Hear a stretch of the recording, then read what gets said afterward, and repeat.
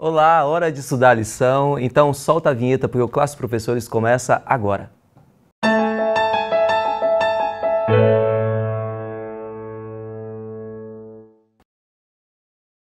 Meu amigo, minha amiga, sejam bem-vindos ao Classe dos Professores e a sua lição em qualquer hora e lugar. E que alegria ter você conosco mais uma vez, mais um trimestre começando.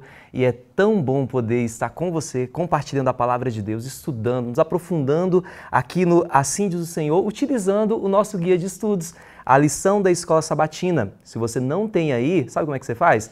Você acessa aí, ó, cpb.com.br. Você já pode fazer a sua assinatura ou comprar avulso mesmo, fique à vontade. O importante é que você tenha a lição aí na sua casa para juntos estudarmos a palavra de Deus e crescermos espiritualmente, tá bom? É uma alegria muito grande ter você com a gente em mais um trimestre, como eu falei, porque a gente tem utilizado esse canal aqui para nos relacionarmos, né? Para conversarmos, para fazermos os nossos pedidos de oração e você é bem-vindo e fique à vontade, tá? Para utilizar esse canal da forma como você quiser. Quer comentar alguma coisa? Quer contribuir com o nosso estudo? Vai, vai aí embaixo, escreve aí o seu comentário. Você tem algum pedido também de oração a fazer? Vai embaixo, pode colocar o seu pedido, nós vamos estar orando, tá? Mas é muito importante que você pegue esse conteúdo e transmita aí para suas redes, tá? É, para os seus amigos. Faça isso agora mesmo, não deixa para depois não, porque depois a gente esquece, né? Então já pega aí, clica no compartilhar e já mostra para todo mundo que você está participando do Classe dos Professores, tá bom? Ah, é, é uma alegria muito grande porque nós já passamos dos 54 mil inscritos. Isso é bacana, né? Mas você sabia que tem muita gente que está aqui desde o início, mas ainda não percebeu que não está inscrito no canal? Dá uma olhadinha agora mesmo, vê se você já apertou o botão de se inscrever. Se não, faça isso agora mesmo, tá? Clica lá no botão de inscrever é, ativa o sininho, porque toda vez que entrar um programa novo, tá, você vai ser o primeiro aí a ser notificado, tá bom? Muito bom ter sua companhia. E eu queria mandar aqui um abraço muito especial, tá? E o abraço de hoje vai para Isabel Mota, de Paraíso do Tocantins. Fica aqui o nosso carinho todo especial para você aí, tá, Isabel? Obrigado por sua companhia. E a Rosana Martins, lá de Lisboa, lá de Portugal, nos acompanhando.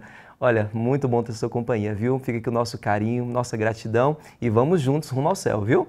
Bom, eu tenho aqui comigo uma equipe maravilhosa. É, nós estamos iniciando um novo trimestre e eu quero apresentar para você aqui os nossos convidados. Do meu lado aqui está a Vanessa. Vanessa ela é membro da Igreja Adventista da Asa Norte, aqui pertinho, né, Vanessa? E que bom ter você com a gente mais uma vez. A gente está muito feliz mesmo, viu? Eu que agradeço e é sempre bom poder servir ao nosso Deus aqui com vocês na classe dos professores. Maravilha. E ao lado da Vanessa, a gente, a gente tem ali o Alex. Alex, seja bem-vindo mais uma vez. Obrigado, Rafael. Alex, que também tem o podcast Cevada com Plutônio, Isso né? Isso mesmo, podcast Cevada com Plutônio. Como né? é que está esse podcast lá? Olha, a gente, não sei se você vai lembrar, quando a gente gravou o outro classe dos professores, você hum. perguntou assim, mas vai chegar até o momento as pessoas assistirem o programa? Vai ter podcast ainda? Graças a Deus, agora no momento da gravação, nós estamos com o 27 episódio. Que bênção, já, hein? Que maravilha. Certo? E a gente fala de tudo lá. Tem parte científica, tem parte de teologia.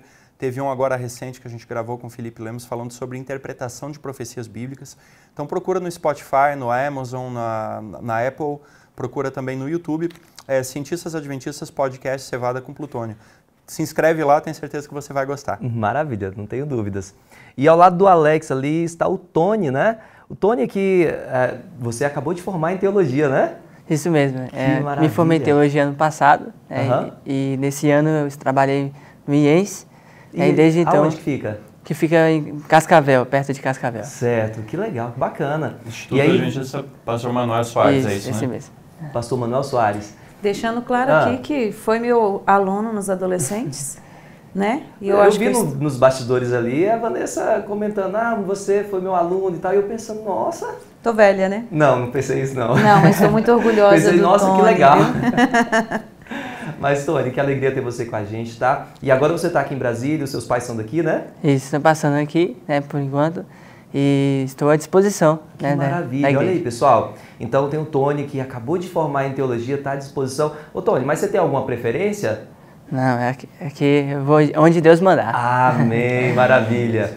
Tony, é uma alegria ter você com a gente, viu? Estamos muito felizes Obrigado. mesmo, tá? Que Deus te use mais uma vez aqui nesse estudo da Palavra de Deus. Gente, vamos fazer uma oração? Alex, ora pra gente? Vamos orar.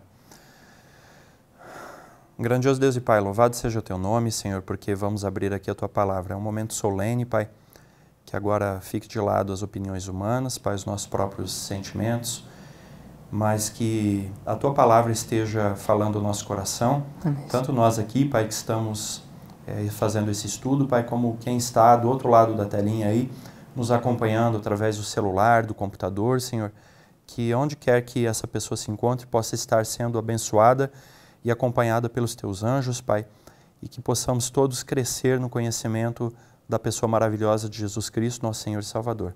É o que te rogamos humildemente. Na intercessão do teu Filho, Pai, suplicamos. Amém. Amém. Bom, pessoal, como eu falei, nós estamos começando um novo trimestre, né? Você já percebeu que a equipe da Jéssica esteve aqui na semana passada e já iniciou o estudo dessa lição. Lição muito bonita. É, temas do Evangelho de João. Olha que capa linda, né?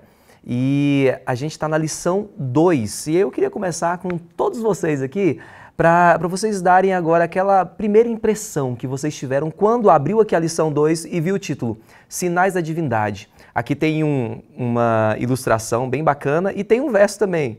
João capítulo 11, versículo 25 e 26, que diz assim, ó: Então Jesus declarou: Eu sou a ressurreição e a vida. Quem crê em mim, ainda que morra, viverá. E todo que vive e crê em mim não morrerá eternamente. Você crê nisto? E aí, quando você olha é, essa introdução, esse título, essa ilustração, o que, que vem na sua mente? É, para mim, quando ah. eu vejo essa ilustração, é, especificamente em relação ao ao óculos ali, é que dependendo do óculos e de quem está e como está, você não vai ver a divindade, né? Então nós temos aqui dois exemplos, né? Um que está em dúvida de quem é esse Deus e o outro que viu, mas que se permitiu quebrar as, talvez as questões de visões humanas e etc, etc. Isso aqui dá uma visão bem legal para a gente de que às vezes o sinal da divindade precisa ser quebrado. É, é, é, interessante assim porque a maior parte dos países do mundo usa a arte da lição dos Estados Unidos, né? E no Brasil, eu acho que é um dos poucos lugares que a gente tem uma arte própria que é feita aqui no Brasil, né? Então, para mim, o que, que o artista tentou fazer é o seguinte: aquele, aquela pessoa, né, você que está acompanhando aí em casa, pega a sua lição ali ou abre na internet, né? A pessoa que está lá na ponta quebrou o óculos da dúvida, né? E ela estava enxergando. Isso é interessante porque a lição dessa semana vai falar de uma pessoa cega. Né? Em comparação ali do outro lado, tem uma dúvida e parece uma pessoa vestida como um fariseu, né? Ou seja, é, a, a, é como a gente já adiantando o tema da lição, né? Uhum. Pessoas que enxergam fisicamente, mas não enxergam espiritualmente. Bacana, né? Alex. Gostei. Gostei.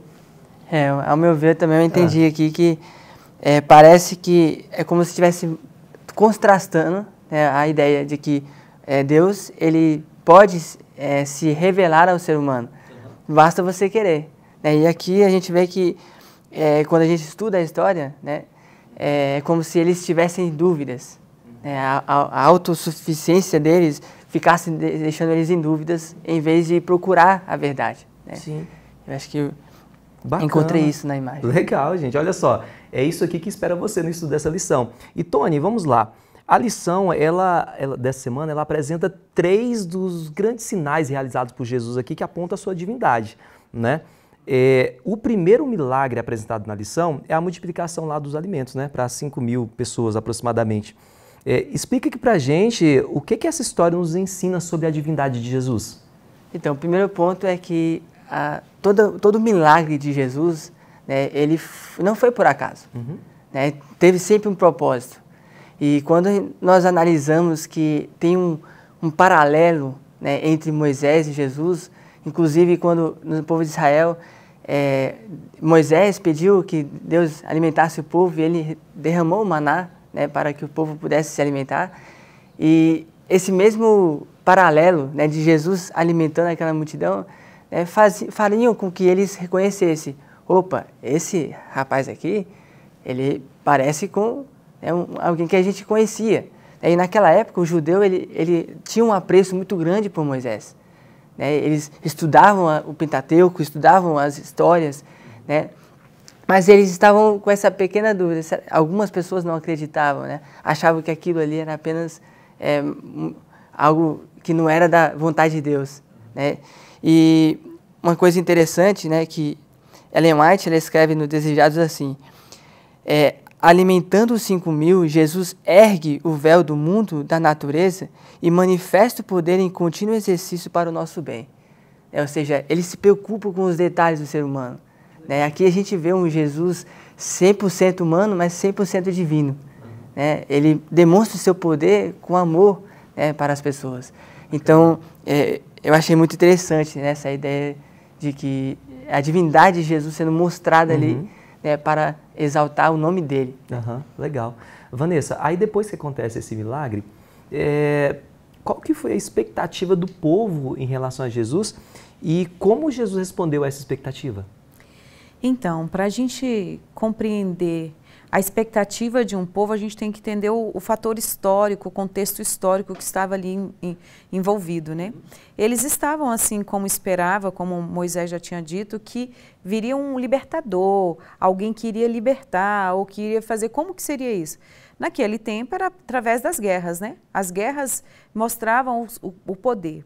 E quando ele vem e faz a multiplicação dos pães ali e do alimento, aí lógico que eles vieram com uma perspectiva de guerra também, porque duas possibilidades de ganhar todos os povos e libertação e etc, e ter poder sobre os outros, era através das guerras. Mas uma das grandes dificuldades de uma guerra era como cuidar dos feridos, né?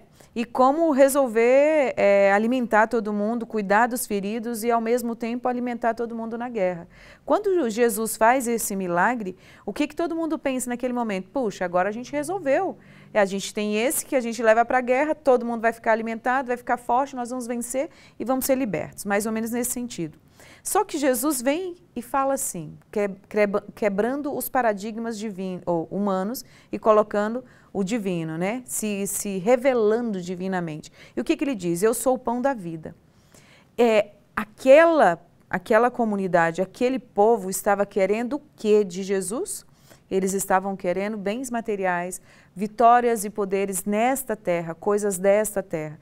Mas Jesus vem dizendo: olha, eu sou o pão da vida. E o interessante é que quando ele fala isso, ele fala também aqui em João também, ele vai se descrever como sete coisas, né?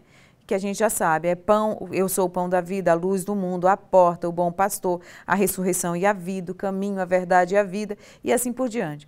Jesus se revela de várias formas, mas a divindade dele se revelou em João através de sete é, formas didáticas de dizer quem ele era. Mas o povo queria o quê? O povo, na verdade, estava fazendo a expectativa de um grande líder de guerra, assim como foi Davi, assim como outros vieram também, assim como Moisés, Josué e etc. Eles achavam que Jesus seria esse, esse que iria libertar naquele tempo.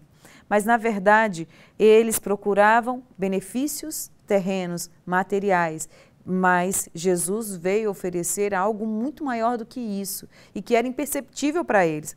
Então, essa armadilha de querer as coisas materiais, a vitória material, as coisas desta terra, ou o que quer que seja, mesmo que seja o seu alimento, mesmo que sejam as coisas desta terra, a gente se perde. Porque o que ele quer oferecer para a gente é muito mais do que isso. E aí eu já lanço aqui, a gente precisa tomar cuidado.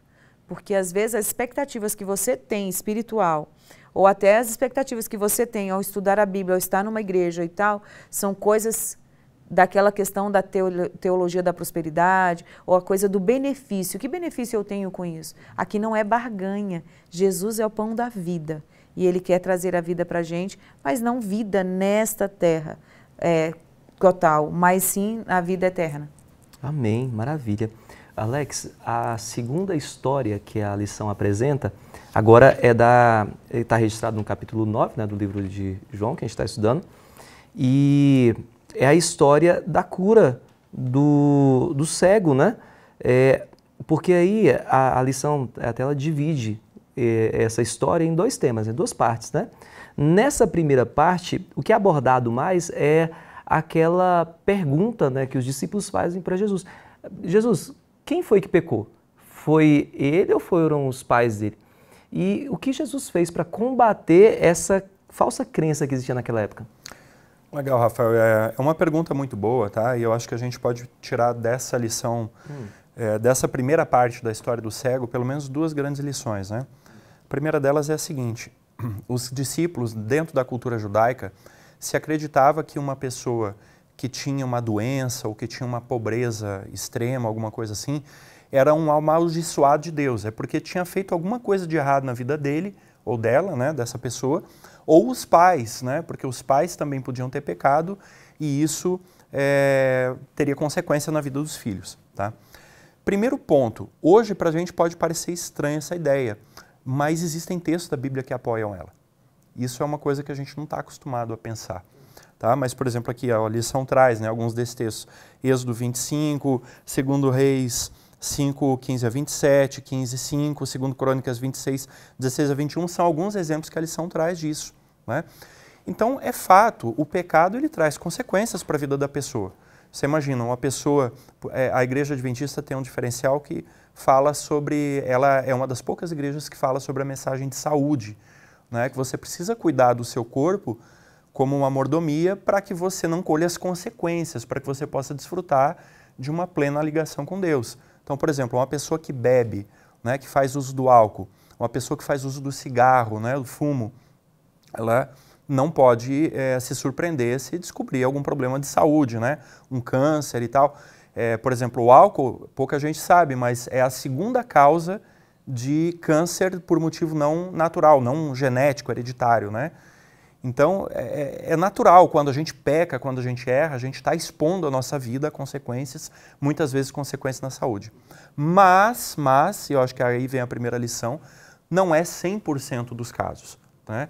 Então, a lição faz uma provocação muito interessante aqui, que se a gente volta, por exemplo, na história de Jó, a gente vai ver muito claramente que Jó teve uma série de tragédias na vida dele dificilmente, poucas pessoas, no caso, né, passaram por tragédias maiores do que as de Jó, né? mas a Bíblia é muito clara em dizer que Jó não era o culpado. Não era por uma falha ou por um grande pecado na vida dele que Jó estava experimentando aqueles problemas. Né? Mas qual que era a situação então? Então, a, a, a, era, era simplesmente a atuação do maligno na vida dele. Isso é a primeira lição que a gente tem que tirar. Eu posso chegar a uma teologia errada usando textos corretos da Bíblia. De novo, eu posso chegar a uma teologia errada usando apenas textos corretos da Bíblia. Olha a importância de eu ter uma, um estudo da Bíblia sério, responsável, humilde e completo da Bíblia. Isso é extremamente importante. Né? A outra lição que nós tiramos aqui é que esse cego, né, esse jovem que foi, foi curado né, dessa cegueira, ele, ele se revolta contra os líderes religiosos, de certa forma, né? E o, o, o, os líderes ali perguntam para ele, fazem um interrogatório e ele começa a ficar impaciente. Ele diz assim: Por que, que você está me perguntando de novo? Vocês tão, também estão querendo ser discípulos dele, né? E aí eles se revoltam, os líderes judaicos e tal, né? Então, o, o, que, que, a gente, o que, que a gente entende disso aí, né?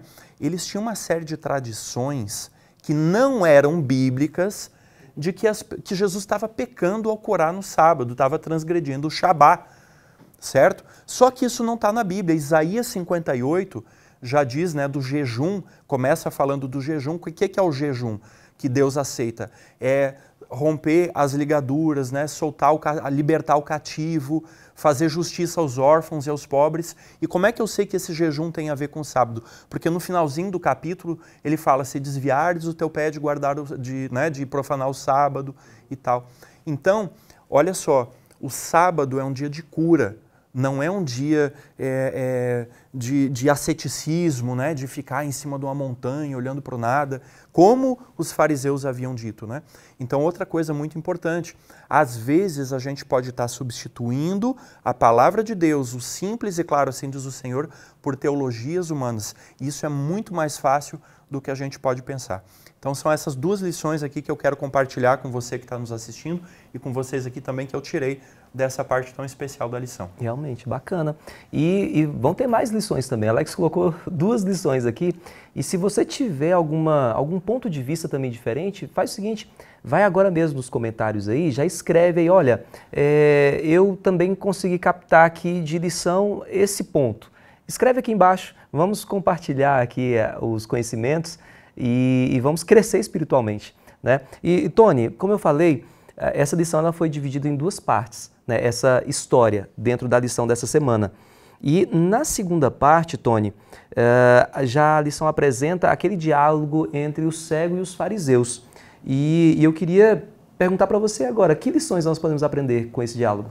Então, é, há muitas lições, né? Uhum. Mas a gente pode, pegando um gancho né, do que o Alex falou, é, ele, eles estavam preocupados com a questão mais tradição, né? Como, como ele tinha dito, é, os fariseus, eles conheciam a lei, só que eles não estavam enxergando a lei. É como se tivesse, é, a, por exemplo, eu uso óculos, e aí eu esqueci meu óculos, exemplo. Eu não vou enxergar tão bem quanto eu uso óculos. Então eu acho que eles estavam com essa, com essa questão. E é interessante porque eu estava estudando um pouco que nos evangelhos, é, cerca de sete vezes, né, Jesus fala para os que vêm que eles são cegos. É, e, e, se você analisar, são poucos milagres que são ditos e descritos sobre quem era cego e foi curado. É, ou seja, parece um contraste estranho, mas é porque Deus queria mostrar que as pessoas ali estavam focadas demais em uma tradição, em algo muito sistemático, mas que eles deveriam entender que, é como foi dito, o sábado era, um, era de paz, era de tranquilidade, era de trazer é, alegria. E as, e as pessoas estavam cravando isso de uma forma errada. E é interessante que Ellen White ela fala assim, é, não somente lhe fora restaurada a visão natural né, do cego, mas haviam-lhe sido abertos os olhos do entendimento. Ou seja, ele não apenas viu fisicamente, né, mas o entendimento dele, a sabedoria que ele tinha. E é interessante porque parece um contraste. Os líderes que estudavam, que sabiam, que passavam anos, né, desde pequenos estudando a lei, é, sabiam menos do que um cego mendigo que era invalidado pelo povo, né, por eles. Então, assim, é aí que fica um contraste para a gente também, né, para você que está assistindo, né, para nós também, é que nós devemos é, não se preocupar se você não foi aceito, se você foi invalidado, se você se sentiu angustiado com alguma situação que aconteceu, é, e lembrar de que Deus tem uma recompensa, que é a vida eterna. Né, e essa, essa é a nossa maior esperança. Amém. Que bom. Olha, que mensagem poderosa. Você viu aí? É isso que Jesus tem para te oferecer. Que bacana, Tony. É... Vanessa, já na lição de quinta-feira, Vanessa, é, a gente vem com a última história que a lição escolheu para trabalharmos essa semana, né? Lá no capítulo 11, e a história da ressurreição de Lázaro. Que evidências a gente consegue tirar aqui dessa história sobre a divindade de Jesus? Pois é, essa história de, da ressurreição de Lázaro é um dos capítulos mais tristes da Bíblia, né? Onde vem a expressão que Jesus chorou. Ele se entristeceu. É, chorou por um amigo, a notícia da doença, veio a queixa das irmãs, veio muitas coisas de tristezas ali. Mas por que será que, é, como a própria Maria e Marta se questionaram, por que, que Jesus demorou tanto? Se ele estava doente, por que, que não veio curar, como fez, né? Então vamos pensar primeiro que a maioria de nós não conseguimos entender esse grande eu sou. A, a, lição dessa semana vem trazendo o tempo inteiro quem era esse Jesus e que ele faz parte do eu sou, já dito lá atrás no Antigo Testamento. Ele é o eu sou. Só que esse eu sou é Deus Pai, Deus Filho, Deus Espírito Santo? Sim, mas ele estava lá na criação, quando Deus, lá em Adão, soprou, lá naquele boneco, vamos dizer assim, de barro, soprou o fôlego de vida. Aí agora Jesus, diante de todos, diante de muitas testemunhas, está ali diante de um corpo que seria já estava em decomposição, já estava numa situação que não tinha mesmo chance de fôlego de vida, é, segundo a medicina grega, lá na época de Aristóteles ainda, a medicina abria, assim que a pessoa falecia, abria a pessoa e ainda tinha pulso, às vezes, no coração, ainda tinha um, um calor e tal, e poderia deixar dúvidas até dessa ressurreição, certo? Pensando nessa medicina antiga, né? Agora, pensando que já tinham passado três dias ou seja, já tinha um tempo ali. Então tem muita informação nesse texto aqui da ressurreição de Lázaro, mas uma coisa é certa, aquele fôlego de vida que lá Jesus junto com a Trindade, na Trindade, soprou em Adão agora de novo ele com as palavras que antes a criação foi haja luz, houve luz, e todas as coisas foram criadas pela palavra, certo? Mas agora Agora, nesse caso, a palavra ressuscita. E quem é essa palavra? Quem é? Porque ele é o eu sou. Quem é essa palavra? E ele mesmo fala: Eu sou a ressurreição e a vida. Ou seja, ele estava dizendo para o universo inteiro: Estive na criação estou aqui oferecendo para vocês a vitória sobre a morte. Porque ele é a ressurreição e a vida. Aquele que doou a vida lá no Éden, ele agora está devolvendo a primeira vida após a morte, nesse sentido, na questão de testemunhas. E aí, a, essa, esse, esse texto traz para a gente uma coisa fantástica. Nós precisamos entender quem Jesus é. Ele é o Filho de Deus, mas ele é divino. E ele sabe as nossas fragilidades. A morte é difícil, a morte traz dor. Você sabia que o cérebro humano demora mais ou menos um ano para se reconfigurar, provocar novos neurônios, novas conexões para superar um luto? Porque a morte não foi feita para nós, nós somos criados para a vida. É muita tristeza envolvida, é muita coisa ruim. E Jesus vem dizendo assim: ó, diante de todas as fragilidades do ser humano, inclusive após o pecado, inclusive a morte, eu posso vencer isso, porque eu sou Amém. a ressurreição e a vida. Amém. Ele é a própria divindade, ressurreição e vida. Maravilha.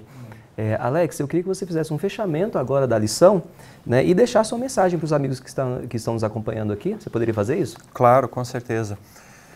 Queridos, essa lição me chamou muito a atenção pelo seguinte: Jesus multiplicou o pão, Jesus curou um cego de nascença, Jesus ressuscitou uma pessoa morta. Eu não consigo pensar em milagres maiores do que esses. Agora veja bem, tem muitas pessoas hoje que estão esperando milagres para crer. Querem ver para crer, né? São igual, como diz aí o ditado São Tomé, né? Primeiro tem que, tem que é, é, ver para crer. Agora, apesar disso, você note bem, Judas, ele presenciou todos esses milagres, mas não se salvou. Os fariseus testemunharam esses milagres também, mas não se salvaram, né? Negaram a Cristo, crucificaram a Cristo. E hoje nós podemos estar fazendo a mesma coisa. Às vezes a gente quer ver milagres, a gente quer ver é, coisas sensacionais, e aqui a terceira pergunta da lição de sexta-feira diz assim, né? É, aponta ali para um texto de 1 Coríntios e pergunta a loucura do evangelho, a loucura da pregação. Para o mundo isso é uma loucura. Mas não é porque é difícil crer em Jesus, não é porque é difícil crer na Bíblia, é porque o nosso pecado nos cega. E aí eu quero fazer uma remessa lá para a lição de sábado, para a arte, né, do artista. Talvez quem está atrás daquele, daquela lente da dúvida que não foi quebrada somos nós. Talvez seja eu, talvez seja você. E eu quero fazer um convite para você, se esse é seu caso, quebre essa lente da dúvida. Olhe para a palavra de Deus, como gostei do que a, a Vanessa falou, né? Como a palavra viva, como a pessoa de Cristo que é a palavra. Deixe que essa pessoa trabalhe com você. Afasta o pecado, afasta a dúvida, afasta aquilo que te separa de Deus. Se nós não fizermos isso, nós vamos ser como os fariseus, nós vamos ser guias cegos. Podemos até ter a palavra na mão, porque isso pode acontecer. Pode acontecer com um cético que duvida da Bíblia, duvida da fé, duvida de tudo, mas a lição nos ensinou de pessoas que estavam cegas por causa das suas tradições, das suas próprias opiniões, seus preconceitos, suas opiniões preconcebidas estavam atrás de uma barreira de incredulidade que impediram elas de reconhecer naquele humilde carpinteiro de Nazaré o Filho de Deus.